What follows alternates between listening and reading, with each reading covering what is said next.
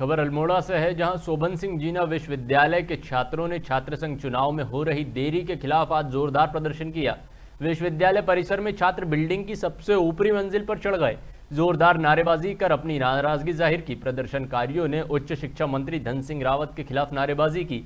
जल्द से जल्द छात्र संघ चुनाव कराने की मांग की। इस दौरान विश्वविद्यालय प्रशासन के हाथ पाँव फूल गए। जब छात्र ऊपरी मंजिल पर लगी रेलिंग पर चढ़कर प्रदर्शन करने लगे। विश्वविद्यालय में माहौल तनावपूर्ण हो गया और स्थिति को काबू में रखने के लिए पुलिस बल तैनात किया गया। पुलिस और प्रशासनिक अधिकारी लगातार प्रदर्शनकारी छात्रों को शांत करने और उन्हें नीचे उतारने की कोशिश कर रहे हैं।